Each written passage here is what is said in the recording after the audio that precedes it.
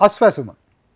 ජූලි මාසේ ඉඳලා විවිධ දින නියම කැරුණා හැබැයි තාමත් අස්වැසුම ලැබිලා නැහැ. අස්වැසුම ලබා ගන්නට විශාල පිරිත්සක් බලාපොරොත්තු ඇතුව ඉන්නෝ ඒත් තාම අස්වැසුම ගෙවීම් ආරම්භ කරන්න බැරි වුණා. මේ මාසේ දහට වෙනිද අගෝස්තු දහට ගෙවීම ආරම්භ කරන බව සුභසාධක ප්‍රතිලාභ පණ්ඩලය කලින් කියලා තිබුණ හැබැයි තාමත් වැඩේ වෙලා නෑ. මොකද මේ වෙලා තියෙන මේ පිළිබඳව සාකච්ඡා කිරීම සඳහා අද අපි පැතිකඩ වැඩසටහනට ඉතාමත්ම ගෞරවයෙන් ආරාධනා කළා ශ්‍රී ලංකා සමෘද්ධි සංවර්ධන සහ කෘෂි පර්යේෂණ නිලධාරී සංගමේ ප්‍රධාන ලේකම් ශ්‍රී ලංකා පොදුජන පෙරමුණේ පාර්ලිමේන්තු මන්ත්‍රී ජගත් කුමාර සුමිත්‍රාරච්චි මහත්මයට. සුබදසරක් මන්ත්‍රීතුමනි. එසේම වේවා. සුබෝදෑසන මන්ත්‍රීතුමනි දැන් ආණ්ඩුවේ අස්වැසුම සහන මේ මාසේ දහට වෙනදක් ගෙවන්න පටන් ගන්නවයි කිව්වා. දැන් වෙනකොට අස්වැසුම ගෙවීම භාරව ඉන්න ආයතනය වන සමාජ සුභසාධක මණ්ඩලේ සභාපති තනතුරත් හිස්වල තියෙන්නේ මොකක්ද මේ වෙන්නේ. ඔව ඇතරම අපි බලාපොරොත්තු වෙන්නේ මිනිස්සුන්ට අස්වැසුම හරි යම් සමෘද්ධි හරි සානාධාරකින් එයට ජීවත්වෙන වැඩ පිල්ලක් සහ අන් පැත්තිං දුප්පත්කම නැතිකිරීම වැඩපිල්ල. නමුත් අස්වැසුම පටන්ගත්ත විදිහේ තිබුණු වැරදි සහගත බව කලබලය වැරදි උපදේශ ක්‍රමවේදයන් වල වැරදි නිසා දැන් මේක එකක් ජීවත්වෙන්න තියෙන සහනාධාරය ලැබුණනේ. දැ මේක ජූලි මාසය දෙනවාකිවේ. හැබැයි ජූලි මාසය දෙනකොට අඩුතරම ජූලි දක්වා සහනාධාරය මෙතෙත් තිබුණ එක දෙන්න එපේ ඒක දුන්නේ නෑ මැයියොලින් අතර වුණ. එතකොට දැම් මැයි ජූලි අගොස්තු දක්වා ආපු මාස තුනටම තාම සහනාධාරයන්නේ.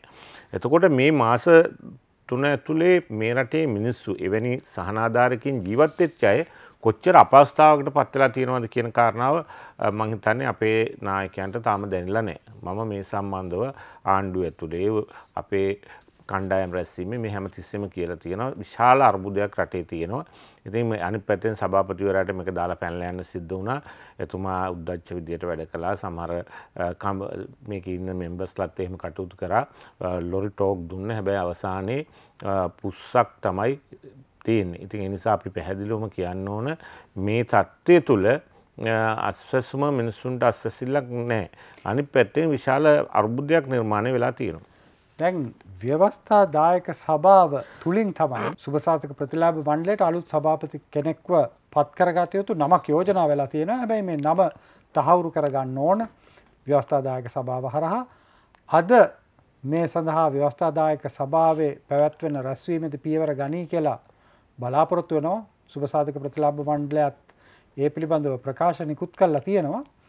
තැන් ඔබතුමා කිව්වා මේ ඇතැම් අය විශාල උද්දච්ච විදියට කටයුතු කර. අරහෙමේ කියලා. හැබැයි දැන් ඔබතුමත් මන්ත්‍රීවරු හැටකට වැඩි පිරිසක්ගේ අස්සං අරගෙන ගිල්ලා මේක නිවැරදි කරන්න කියලා කිව්වනේ. ඉතින් ඒකවත් ඇහුවේ නැද්ද?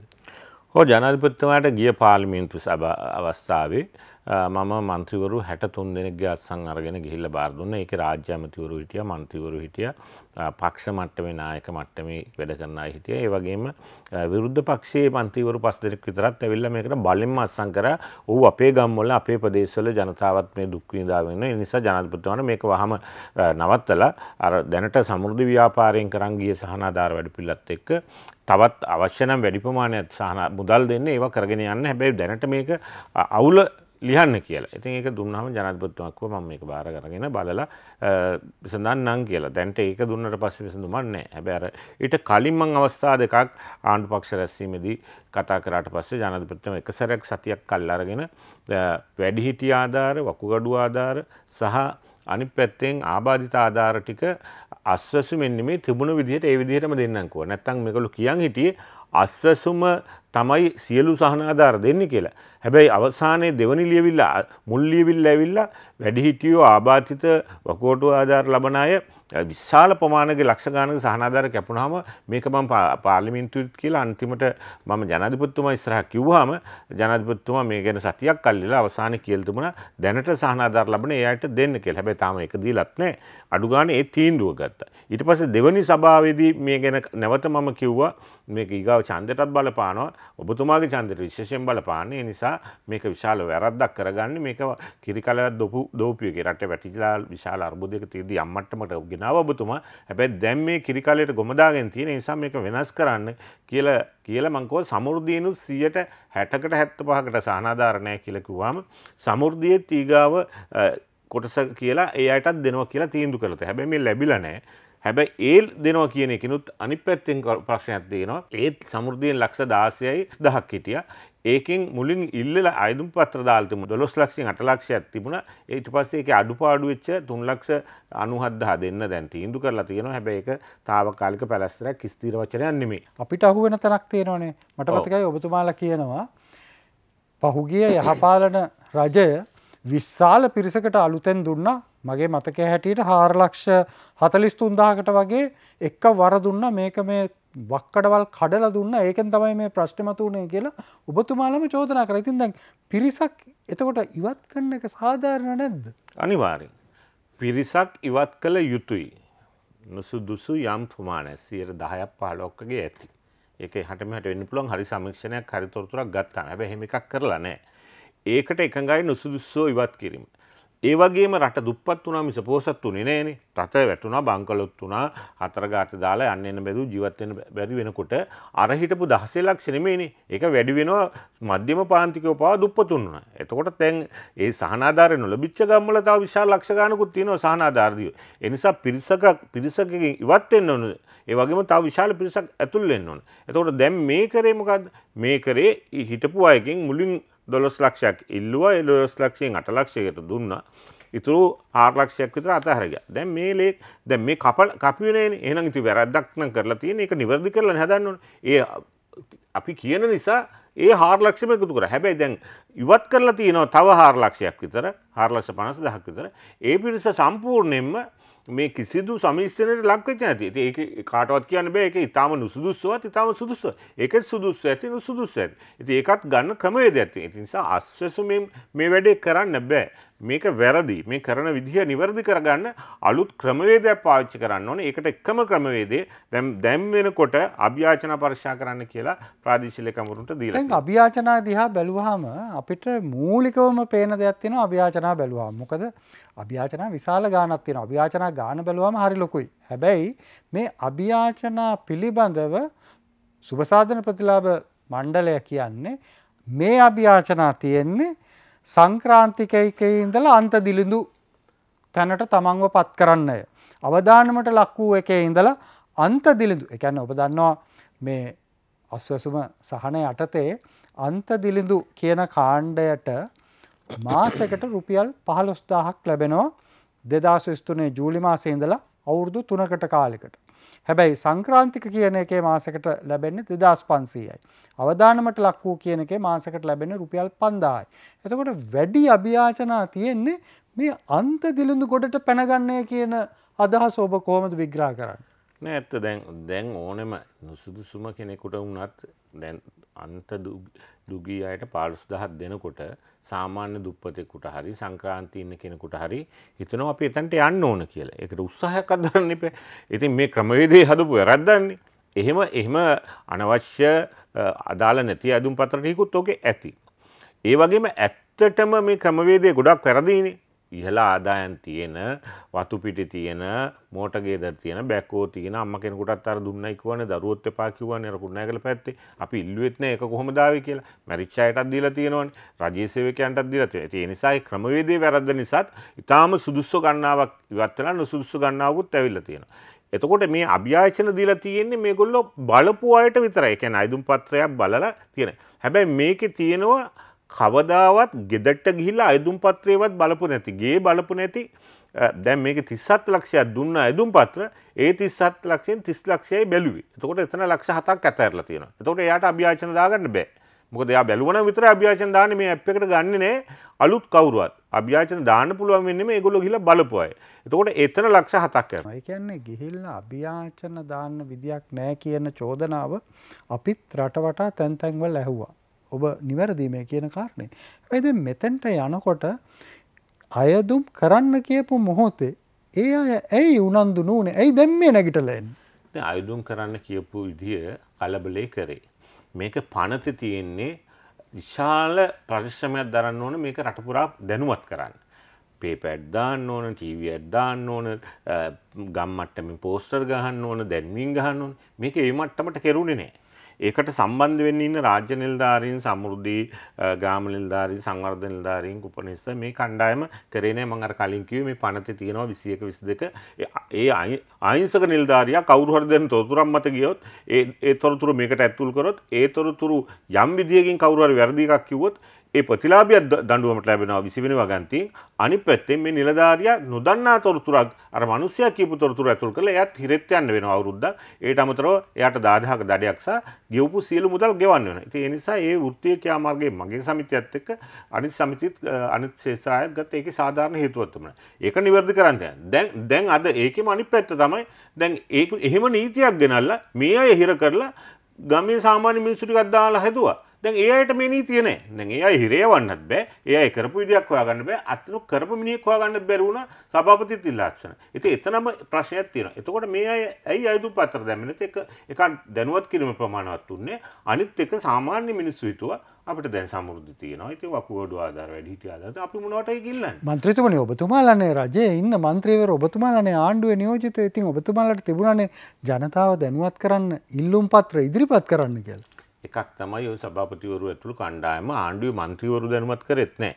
මම දැනුවත් වෙනවා මම වෘත්තීය සමිතියක් කරනවා සමෘද්ධි ව්‍යාපාරේ මම දීර්ඝ කාලයක් තිස්සේ කටයුතු කරන නිසා. ඒක බරපතල චෝදනාවක්. ඒ කියන්නේ මන්ත්‍රීවරුන්වත් නිවැරදිව දැනුවත් කරේ නැහැ කියන්නේ ආණ්ඩුව ආණ්ඩුව ඇතුළේ මේක හරි සංවාදයකට අරගෙන නැහැනේ. නේ සහරි සංවාදකට ගත්තන ඉති මුලින් දම්ම මම මේකේ අඩුපාඩු පෙන්නල දුන්න. ඒක හැන්සාඩ්ඩකමගේ හොයාගත්ත. මන් ජූනි මාස සුභසාධක ප්‍රතිලාබ මණ්ඩලේ ගිය අවුරුද්ධ ජූනි මාසේ මං කතා කරන ජූනි මාස හයවෙන්ද පාර්ලිමින්තුවේ. ඒකද කියන මේ සුභසාධක ප්‍රතිලාබ මණ්ඩල ඇත්තියෙන ඒක මුකුත් වැඩක් කරලන එතකොට මේ නීතිත් ගෙනල මේ වැඩ කරන්නේ හැබැයි ඒ ඒ කාලෙත් මිලියන දහයක් නිකං ඒගොල්ලන් පඩින ඩිගවාගෙන් තියෙන ඒ විදිහට ඒකත් අපරාධයක් කියලා මම ඒ වෙලාවේ කියනවා. ඊට පස්සේ තමයි ඔක්තෝබර් මාසේ තමයි ජනාධිපතිතුමා මේක ක්‍රියාත්මක කරනවා නැවත IMF එකේ යෝජනා. එතකොට මම එදා ඉඳන්ම විරුද්ධ වුණා. ඒ නිසා තමයි ආණ්ඩුව ඇතුලේ මගේ සම්බන්ධතාවත් යම් පළුදු වීමකටත් ආවා.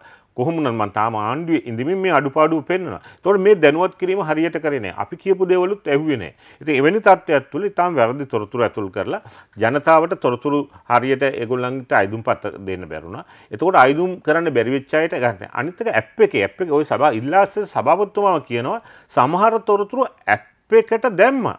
හැබැයි ඇප් එකේ වැරදි නිසාත් ඒවා ඇතුල් වෙලා නැහැ. ඇතුල් වෙලා නැති නිසා ආයි අභියාචනයක් දාන්නත් බෑ තොයිරිලත් නැහැ. ඊගව තව කණ්ඩායමක් ඉන්නවා. ඒ අය ගියා බලන්න අර ගම්වලට දාපු ළමයිට. ඒ ඒ අය ගියා හැබැයි එදා අර මිනිස්සු හිටියේ නෑ ඒ අය ඉස්කෝලේ යන්නේ නැති දරුවෝ අරගෙන ඉස්පිරිතාලේ යන්නේ නැති මොන හරි අය කියලා ගියේ නෑනේ. එක දවසක් ගියා හිටියේ නෑ ඒව කපලා දැම්මා. එතකොට දැන් එහෙම සුදුසු මිනිස්සු ඉන්නේ නැති. ඒ අයගෙත් අභ්‍යාචනයක්වත් දාගන්න බෑ. මෙහෙම විශාල ප්‍රමාණයක් ඉන්නවා. ඉතින් ඒ නිසා මේ ක්‍රියාදාමයේ බරපතල වැරදි තියෙන මොන පැලැස්සරේ එළුවත් අවසානයේ තවත් උත්තරේ වැරදි. මම මේ කියන්න ආවේ අභියාචනා දැන් ප්‍රාදේශීය ලේකම්වරුන්ට කියනවා. ප්‍රාදේශීය ලේකම් කාර්යාලය මාර්ග කරලා දෙහිවල එක්කනට මොරටු යන්න නැත්නම් මොරටු එක්කනා කැස් වැටෙන ඕ වගේ මාරු කරලා දෙනවා. හැබැයි ඒ අයට ප්‍රශ්නයක්. මේ මිනිස්සු ඒ නිලධාරීන් හරි අසරණ වෙනවා රජයේ කියන දේ කරන්නත් ඕන. අනිත් පැත්තේ ඒගොල්ලන්ට ඒ තොරතුරු. සමහර ප්‍රාදේශීය ලේකම්වරු මට කිව්වා කලින් මිනිස්සු තොරතුරු වැරදි දුන්නා. දැන් ආයි අභ්‍යාච දානිකෝ ආයි වැරදි තොරතුරු. දැන් මේ වැරදි තොරතුරු දෙකක් අරගෙන අපි හරි එකක් හොයන්නේ කොහොමද කියලා ඇයි අපිට මේක ඇප් එකෙන් විතරක් හොයන්න බෑ අපිට මේ තොරතුරු ගම හරියට සහතික කරලා දෙන මේ මිනිස්සයා ඇත්තටම දුප්පතෙක්ද මේ කියන කරුණු ඇත්තද කියලා තෝරලා දෙන මිනිස්සෙක් ඕනේ ඒ සඳහා නිලධාරියෙක් ඕන ගම් මට්ටමේ. එයා නෑ එහෙම නැතුව මේක කරන්න බෑ. හැබැයි ආණ්ඩුව ආයි පැලැස්සර විසඳුමක් හොයන්න උපදෙසක් දීලා තියෙන බව පේනවා. ගම්වල ඉන්න සුවේච්ඡා සංවිධානවල කට්ටියට කියනවා මේකට තොරතුරු දෙන්න කියලා. මන්ත්‍රීතුමනි දැන් අපි පහුගිය දවසේ දැක්කා මේ මිනිස්සු අස්වැසුම ගන්න බලාපොරොත්තුවෙන් බැංකු පෝලිං වල ඉන්නවා. දැන් රාජ්‍ය වාණිජ බැංකුවලින් බැංකු ගිනුමක් තිබිය යුතුයි මේ කාරණයට කියන තර්කය තමයි ඒකට අදාළව තියෙන්නේ. මොකද්ද මේ උනේ මොකද දැන් බැංකු ගිනුමක් විවෘත කරගන්න කියන එක කල් ඇතුව කියන්න තිබුණා. දැන් මේකට තව කොලේකුත් ගෙනියන්න ඕනද? ඔව් මෙතන ලොකු අවුලක් හදලා තියෙනවා එකක් දැන් අස්වැසුම සම්පූර්ණයෙන්ම රටේ සහනාධාර දෙන වැඩපිළිවෙල නම් එතකොට සමෘද්ධිය මොකද්ද කරන්න කියලා එතනත් අර්බුදයක් තියෙනවා. සමෘද්ධිය වැඩපිළිවෙල අවුරුදු 20 අටකට ආසන කාලයක් රටේ ක්‍රියාත්මක වෙලා තියෙනවා. මේ රටේ දුප්පත්කම නැති කිරීම සඳහා විශාල වැඩ කොටසක් කියලා. මේක පටන් ගන්නකොට රටේ දුප්පත්කම 130ක් විතර මේක 2015 සමෘද්ධි වැඩසටහන යහපාලනයට දෙනකොට 106 දක්වා අඩු වෙලා තිබුණා. යම් විශාල වැඩ කොටසක් කරලා තියෙනවා. ඔය සමහර මැති ඇමතිවරු කිව්වට මේක අපරාධයක්, පඩි නඩි ගෙවන නිලධාරීන්ට අපරාධයක් කියලා. මට අහන්න තියෙන්නේ ඒ ඒ අයගේ අමාත්‍යාංශවල ඉන්න අයටයි එයාලට ගෙවන එක අපරාධයක් නෙමෙයිද කියන කාරණාව. ඊගාවට අනික් කාරණාව තමයි එතනදී තියෙන සමහර තොරතුරු දන්නේ නෑ මම දැන් මේ පාදුක්ක විතරක් ගියා ඊයේ පෙරේදා උත්සව කීපයක් දාලා සමෘද්ධි නිවාස වගේක් විවෘත කරන්න එක නිවාසකට දෙන රුපියල් ලක්ෂ දෙකයි සමෘද්ධි නිලධාරීන්ට.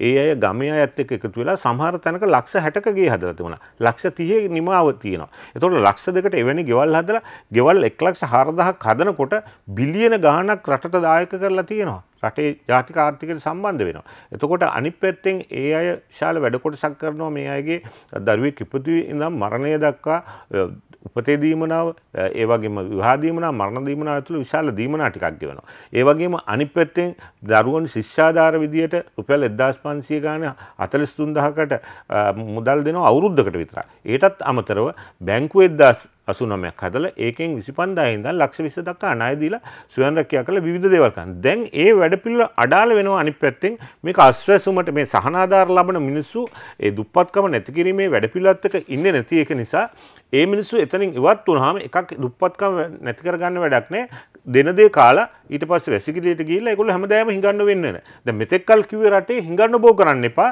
නිකන් කන්න දෙන්න එපා. ඇත්තටම එහෙම මතයක් තියෙද්දි හරිනම් වෙන්න ඕන සහනාධාර ප්‍රමාණය අඩු කරන එකනේ. දැන් වෙලා තියෙන්නේ සහනාධාරට වැඩි මුදල්. සමෘද්ධියට දුන්නේ පඩි නඩි ගෙවන ඔය පඩි නඩි ගෙවන එක අපරාධයන් පඩි නඩි ගෙවන්නත් එක්ක නිලධාරි 24000කට විතර දුන්නේ බිලියන 60යි අවුරුද්දකට. දැන් පඩි නඩි කතාවක් නැතුව කෙලින්ම මේ සහනාධාර විතරක් බිලියන 206ක් දෙනවා. හතර ගුණයක් වැඩි වෙලා තියෙනවා. එහෙම කරලත් අන්තිමට ප්‍රතිඵලයක් නැහැ දුප්පත්කම නැති කරන්නේ හැම අවුරුද්දම මේක දෙන්න වෙනවා. සමහරවිට නයි ඔබතුමා මේක මේ බිලියන 60යි 206යි සංසන්දනය කරන්නේ. 206 කියන්නේ සම්පූර්ණයෙන්ම ප්‍රතිලාභ ගෙවීම. ඒක පඩි අදාළ කාරණයක් නෙමෙයිනේ. ඒක සම්පූර්ණ ගෙවීම. ඉතින් සහන දැන් මෙච්චර කලුත් සහනාධාර දුන්නනේ 16 ලක්ෂ 30000කට.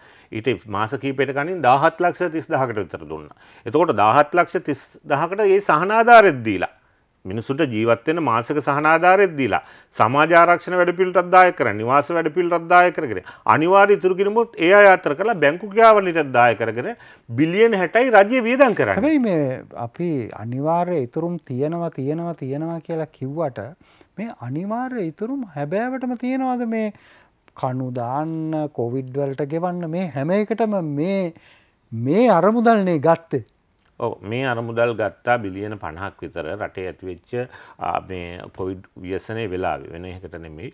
ඒට ඉස්සෙල්ලා යහපාලන ආණ්ඩුවේ ඇමතිවරු වෙන වෙන වැඩවලට ගත්තා. ඒකට අපි දිගට විරුද්ධ වුණා. ඒව නම් හොයාගන්නත් නෑ මුදල් මිලියන ගාණක්. මිලියන් දෙතුන්සිය තවත් නඩු තියෙනවා ඉතින්. ඒවල්ට ඒවලට යම් යම් දේවල් තියෙනවා. නමුත් මේ මෙතන බිලියන පණහක් කරගෙන බිලියන හතත් දීලා තියෙනවා. මේ අවුරුද්ධ තව බිලියන දොළහත් දෙන්න එකඟ තාව දීලා තියෙනවා මුදල් අමාත්‍යංශය. ඒවා ණය විදිහට අරන් තියෙන. ඒවා දෙන්න ඕනේ. ඒක නොදී මගහරින්න බෑ. ඒකෙන් ප්‍රතිලාභී කාටවත් දැන්ට හානියක් වෙන්නේ නැහැ ඒක මම විශ්වාසයෙන් කියනවා. මොකද මම ආණ්ඩුවට කඩ යන කෙනෙක් නෙමෙයි. ඇත්ත හරි විදිහට කියන නිසා මම ජනතාවට කියනවා ඒක ගන්න පුළුවන්. ඒ වගේම ඒ අයට ජන ජනතාවට හානියක් වෙලා නැහැ. නමුත් රටේ ලොකු ප්‍රශ්නයක් වෙලාවේ සමෘද්ධිය තමයි උදව් කරේ. ඒකට ඔය කියන වාණ්ජ බැංකුව රටේ රාජ්‍ය බැංකු දුන්නේ නැහැ. එතකොට එහෙම උදව් කරපු සමෘද්ධි බැංකුව දැන් මේ ආපු වැඩපිළිවෙල කඩ අඩාල කරලා ඒකේ හිටපු ප්‍රතිලාභින් ටික අයින් කරලා වෙන බැංකු වලට යනවා. එතකොට මේ මිනිස්සු ඒක එතකොට බැංකුවත් කඩා වැටෙනවා සමාජ ආරක්ෂණ අරමුදලත් යනවා අනිවාර්ය ඉතුරු කිරීමක් දැන් කරගන්න විදියක් නැහැ. ඉස්සරහට එතකොට ඒ ඔක්කොම අඩාල වෙනවා. ඊට අමතරව දැන් ප්‍රතිලාභියක පැත්තෙන් ගත්තාම මේ මනුස්සයා අලුතෙන් දැන් මේ සමෘද්ධි බැංකුවේ සහ වෙන බැංකුවල ගිණුම් තියෙනවා. දැන් අලුතෙන් ආයි අර බැංකුවලට යනවා. එතකොට ලංකා බැංකු සේවක සංගම සභාපතිතුමා කියලා තිබුණා අපිට දවසකට පුළුවන් ගිණුම් 50යි අරින්න මුළු බැංකුවේ ඔක්කොම වැඩ කරලා අනිත්‍යවත් කරන ගම ඊට පස්සේ අපිට තියෙන මුළු ඔක්කොම සාකා ටික ගත්තත් 1200ක් විතර බැංකු අංශයේ තියෙන ඔය කියලා තියෙන බැංකු හතරට එතකොට ඒ 1200න් හැට දහක් විතර තිය එතකොට මේ ඔක්කොම කරන්න අපිට වැඩ කරන දවස් ගත්තාම මාස දෙකක් විතර යාවි කියලා. එතකොට අර මිනිස්සු ගිහිල්ලා බැංකුවල පෝලිං ඉඳලා එක්කෙනෙක් මැරුණ ওই බදුල්ල පැත්තේ. තව ඉදිරි කාලේ තාම ඒ ගිණුම් ටික ඇරලා නැහැ. ඉදිරි කාලේ මේ මිනිස්සු තවත් බැංකුවල රස්තියාදු වෙන්න ඕනේ, මැරෙන්න පුළුවන්. ඒ වගේම අනිත් පැත්තෙන් මේ මිනිස්සු ඕක එතනින් එහට නතර වෙන්නෙත් නෑ සල්ලි දෙන්න සහනාධාර දෙන්න පටන් ගන්නව එක දවසක එන්න ගියොත් මහජර බැංකුව ලංකා බැංකුව නිලධාරීන්ටත් වැඩක් කරගන්න වෙන්න ඒයටත් විශාල අර්බුදයක් වෙනවා ජනතාවගේ ඒ පීඩනයත් එක මුදල් ගැනීම. ඉතින් ඒ නිසා විශාල ව්‍යාකූලත්වයක් අශ්වසුමත් එක්ක හදලා තියෙනවා මේක විසඳන්න රජයේ පාර්ශවයේ වගකියයුත්තු තාම මැදිහත් වෙන්නේ. ඔබතුමා කිව්වා අර අභ්‍යාචන සහ විරෝධතා මේකට දැන් මේවා විසඳ ගන්න එපැයි. මේ විසඳුම් මාර්ගය හොයාගන්නේ කොහොමද? මේ විසඳුම් මාර්ගය දැන් ඉස්සලා ගිහිල්ලා ගෙවල් ගානේ තොරතුරු රැස් කරා. ඊට පස්සේ ඒවත් තහවුරු කරා. ඊට පස්සේ ඒවා පරිගණකයෙන් නැවත මධ්‍යයේදී ඒ කියන්නේ ප්‍රාදේශීය ලේකම් කොට්ටාස මට්ටමින් යලි තහවුරු කරා. දැන් ආපහු ගිහිල්ලා මේ ස්වෙච්ඡා කණ්ඩායම් කැඳවලා මේ විමර්ශනය කරන කවුද මේ ස්වෙච්ඡා පිරිස්? දැන් මට සමහර අය කතා කරා අපේ ආසනයේ සහ කොළඹ දිස්ත්‍රික්කයේත් ඒ සමහර ඉන්නවා ග්‍රාම සංවර්ධන සමිතිය, මරණාධාර සමිතිය වෙන වෙන සමිති කරන අපේ වැඩිහිටියෝ ඉන්නවා. ඒ අයට නිලධාරීන්ට එන්න කියලා මේ තෝරන වැඩේට උදව් කරන්න. ගමේ අය හඳුන ගන්න. ඉතින් මම දන්න අයට නම් කිව්වා ඔයගොල්ලොත් අමාරු වැටෙන වැඩක්. මොකද එකක් මේකට අපි ස්ථිර වශයෙන්ම නුසුදුස්සෙකුට දුන්නොත් අධිකරණයට යනවා. සුදුස්සෙක්ගේ කැපුවොත් ඒකට අධිකරණයට යනවා. පනතේ තුල බලවත් ඒ වැරදි දෙක කළොත් ඒ අය හිරේ යනවා. එහෙම තොරතුරු දුන්න නුසුදුස්සෙකුට දෙන්න උදව් කරොත් එය ඒකට හිරේ යන්න පුළුවන්. ඒ වගේම සුදුස්සෙකුගෙන් කැපුවොත් ඒකත් වැරද්දක්. ඉතින් ඒ නිසා මේක මේ අර අනික ගමේ මිනිස්සු ටික අමාරුවේ දාන්නේ. ඒ අයටත් ඔය නිලධාරියෙකුට තරන අවබෝධයක් එන්න විදිහක් නැහැනේ. ඉතින් මං හිතන්නේ නෑ ඒ අය එහෙම ස්වේච්ඡාවෙන් ඇවිල්ලා ওই වැඩේ ඒ විදිහට කරයි කියලා. ඒගොල්ලෝ වැරදි තොරතුරු දුන්නොත්, වැරදි තොරතුරු දුන්නොත් අශෝක මහත්තයා මොකද්ද වෙන්නේ? ආයි වෙන්නේ තවත් හත්පොතේ ගාලා අනා ගැනීමන්නේ. ඉතින් ඇයි මේ ආණ්ඩුව පියවර පස්සට අරගෙන ඉස්සරහට යන්න පුළුවන් ඊට වඩා වැඩි ජවයකින් හදාගත්තොත් ඉතින් මේක මේ උද්දච්ච වැඩක් කරන්න මුදල් අමාත්‍යංශය මේ සම්බන්ධව ඉන්න නිලධාරීන්. හැබැයි ඔබතුමා නිතරම මේක සම්බන්ධයෙන් චෝදනා කළා මේ අස්වැසුම ලබා දෙන සුභසාධන ප්‍රතිලාභ මණ්ඩල පනතේ වගන්ති දෙක තියෙන අර්බුදය තියෙන කියලා. ඇයි ඔබතුමාලා ඉතින් මේක වෙනස් කරගන්න යෝජනා පාර්ලිමේන්තුවට නොගෙනෙන්නේ? පාර්ලිමේන්තුවට ඉස්සල්ලා ගේන්න මෙන්න ආණ්ඩුව ඇතුළනේ සහ මම විපක්ෂයටත් කිව්වා ආණ්ඩුවටත් කිව්වා මේ වගන්ති ප්‍රශ්නයක් තියෙනවා. එතකොට අනික දැන් ඔය අතරම ඔබතුමාල ගෙන වෙන ඔබතුමාට ගේන තුරන්න පුද්ගලික මන්ත්‍ර යෝජනාවක් ඇට පුද්ගලික මන්ත්‍රී යෝජනාවක් ගේන දීර්ඝ කාලයක් යනවා. ඔය සමහරේවා උඩ දාලා ගන්න තරම් අපි ගෙනවම ගන්නේ නෑ. ඔබට තේරෙනවා මේක.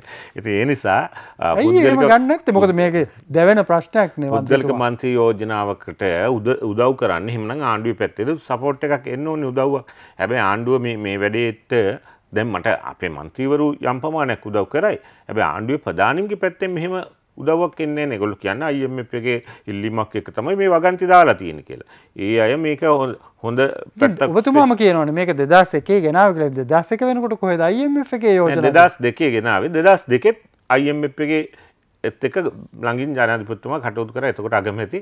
ඉතින් එතුමා කියන විදිහට IMF එකේ යෝජනාව මම ඒ කාලෙත් විවේචනය කරා. මම ඒතකොට වෘත්තීය සමිති ලේකම් විදිහට දිගටම හිටියා. ඉතින් ඒ කාලේ මම පාර්ලිමේන්තුවට මන්ත්‍රීවරයෙක් විදිහට ගියේ නැහැ. නමුත් ওই පනත ගේන දවසේ මම ගියා වෘත්තීය සමිතිය නියෝජිතයෙක් විදිහට ගිහිල්ලා ඒ වෙලාවේ විපක්ෂ මන්ත්‍රීවරු දැනවත් කළා 72 දෙනෙක් මේකට විරුද්ධ වුණා. අද ආණ්ඩුවේ ඉන්න අය ඒ කියන්නේ ඉවකට ශ්‍රී ලංකා නිදහස් පක්ෂයට පුයි. ඉතින් ඒ නිසා දැන් ඒ අය මේකට පක්ෂව ඉන්නවා. සමහරු මේකට පක්ෂව ඉන්නවා. සමහරු ඉන්න ඔක්කොම නෙමෙයි. අපි මේ ප්‍රශ්නේ විසඳ ගන්න කොහොමද යන්න ඕනද? දැන් මූලිකම කාරණේ මේ සමෘද්ධි සංවර්ධන නිලධාරීන් සමෘද්ධි නිලධාරීන් මේ අස්වැසුමත් එක්ක ගැටෙනවා. දැන් මහජනතාවගේ පැත්තෙන් මේක මහජනතාවට අදාළම නැහැ. දැන් කොහොමද මේක බේරන්නේ? මහජනතාව පැත්තෙන් විශාල අසාධාරණයක් විශාල පීඩාවක් ඒ නිසා මම හිතන්නේ මේක වහම කරන්න ඕන බේරන්න ඉස්සල්ලම කරන්න වෙන්නේ දැනට දුන්න සහන ආධාරයක් තියෙන එකට ලොකු ගාණක් යන්නේ නැහැනේ. උපරිම ගියේ 3500 4500යි. එතකොට ඒකෙනුත් කොටසක් ඉතිරි කිරීම වලටයි අනිවාර්ය ඉතිරි කිරීම වලටයි අනි සුබ සාධන අරමුදලටයි සමාජ ආරක්ෂණ අරමුදලට ඒවලට කපුවාම ප්‍රතිලාභියෙකුට 4500ක්ම ගියේ 3800ක් විතර. ඉතින් ඒ කොටස දුන්නට ආණ්ඩුවට ප්‍රශ්නකුත් නැහැ මේ මාස දැන් මේ නතර වෙලා තියෙන මාස තුනේ ජීවත් වෙන්න බැරි බව තේරුම් ගන්න වැඩිහිටියන්ටයි වග්වඩුව ආධාරලාභින්ටයි ආබාධිතයි. දැන් ආබාධිත කෙනෙක් පවුලේ ඉන්නකොට අම්මා කෙනෙක් තනියෙන් දරුවෙක් ඔප්පල වෙලා ඉන්න දරුවෙක් කොහොමද රැක ගන්න අර සොච්චන් අරමුදලින් ජීවත් කරේ එතකොට ඒක බැරිවන වැඩිහිටිය තාත්තා අම්ම සමහරලාට මේකින් සල්ලිටි කරගෙන තමයි යා පිටි පැකට් එකක් ගත්තේ බෙහෙත් ටිකක් ගත්තේ. එතකොට ඒක කරගන්න බැරුව මෙහෙම මිනිස්සු ස්වභාවිකව මැරලත් යනවා ඇති ජීවත් වෙන්න බැරුව අපිට තොරතුරු නාවට. ඉතින් මේක අපරාධයක්. ඉතින් ඉස්සෙල්ලා කරන්න ඕන දැන්ට දීගෙනාවේ සහනාධාරය දෙන්න. ඊට පස්සේ මේක නිවැරදි කරන්න. සමුෘද්ධියකෙන් පටන් ගන්න කියලා. එකක් සමුෘද්ධියකේ සහනාධාර සමුෘද්ධ දුන්නේවා සමුෘද්ධී. ඊට අමතරව තව සහනාධාර තියෙනවනේ. වැඩිහිටිය ආධාර කියලා එකක් සමුෘද්ධි නෙමෙයි ඒක සමාජ සේවා අමාත්‍යාංශය හරහා ප්‍රාදේශීය ලේකම්. එතකොට ඊට අමතරව වකුගඩු ආධාර දුන්නා. ඒ වගේම ආවාසය ඒ ඒ ආධාර ප්‍රමාණය ඒ විදිහට දෙන්න. දෙන ගමන් මේ පැත්තෙන් වැරදි හදාගන්න. වැරදි හදාගන්නකොට මම හිතන්නේ පළවෙනි පියවර විදිහට රාජ්‍ය නිලධාරීන් සමෘද්ධි නිලධාරීන් ග්‍රාම නිලධාරීන් සහ සංවර්ධන නිලධාරීන් ඇතුළු නිලධාරීන් ශේෂ්ඨයේ පස් දෙනෙක් හය දෙනෙක් ඉන්නවා. මේ කණ්ඩායම එකතු කරන්න පුළුවන් අර පනතේ අර තියෙන වගන්ති දෙක ඉවත් කරොත්. ඒ ඉවත් කරොත් අලුතෙන් මුදල් වියදම් කරන්න. දැන් කලින් ළමයිට ගම්වල එකතු කරා ලක්ෂ 10ක් විතර වියදම් කරා. මහා අපරාධයක්. ඒකෙන් තොරතුරු රැස් කිරීම තොරතුරු රැස් කරන්න. ඒ ඒක ශාල අපරාධය. ඉතින් දැන් කියන්නේ මිලියන් 100ක් වගේ වියදම් කරා. මං කියන්නේ ඔව් එහෙම මිලියන් දහක් විතර වියදම් කරා. ඒතර මම කියන්නේ මේ මුදල අනිවාර්යයෙන්ම වියදම් කරන්න ඕනේ ආයි රජ නිලධාරීන් මේකට කැප වෙන්න ඕන. හැබැයි අර ඒගොල්ලෝ හිරේ යන්නේකට නෙබයි. ඉතින් ඒ ටික අයින් කරලා දෙන්න. එහෙම වුණොත් මම නායකත්වය අරන් ඒක ඒ අයත් එක්ක කතා කරලා මේ වැඩේ කරන්න පුළුවන්. හොඳටම මාසයක් ඇතුලේ මේක කරලා දෙයි ප්‍රාදේශීය ලේකම්වරු මේ හැමෝම එකතු වෙලා මේ වැඩේ කරන්න පුළුවන්. හැබැයි අර කියන නියෝගත් එක්ක තිබුණොත් ඒ අය උදව් කරන්නේ නැහැ. ඊට පස්සේ ගමේ ওই සුවේච්ඡාවෙන් එන්න කියන සමිති වල කට්ටිය ඇවිල්ලත් මේක සාර්ථක වෙන්නේ නැහැ කියලා මම හොඳටම දන්නවා. අන්තිමට තවත් අර්බුදයක් එනවා. අන්තිමට මේක ඉතින් ඡන්දෙටත් ඊගාවට බලපායි. අනිත් පැත්තෙන් ආණ්ඩුව ගෙදර යන තැනටත් මේක බලපායි. අපිට මේ වගේ සුබසාධන ප්‍රතිලාභ බෙදා දීමේදී නිසි සැලසුමක් අවශ්‍යයි. නිසි පියවරයන් හඳුනාගෙන තිබිය යුතුයි. අද අපි මේ සාකච්ඡාව තුළ මතුවෙච්ච ඉතාම වැදගත් කාරණයක් තමයි ජගත් කුමාර මන්ත්‍රීතුමා කියපු ඉතා වැදගත් කාරණයක් තමයි යම් ආකාරයකින් මේ ගෙවීම් හෙට කරොත් මේකට ආයි බැංකු ඉස්සරහා ආයි පෝලිං හැදෙයිද? අපි ඒකට විකල්පයක් විසඳුමක් හිතලා තියෙනවද? මන්ත්‍රීතුමනි බෙහෙන්ම ස්තුතියි. අද පැතිකඩ සංවාදයට ස්තුතියි.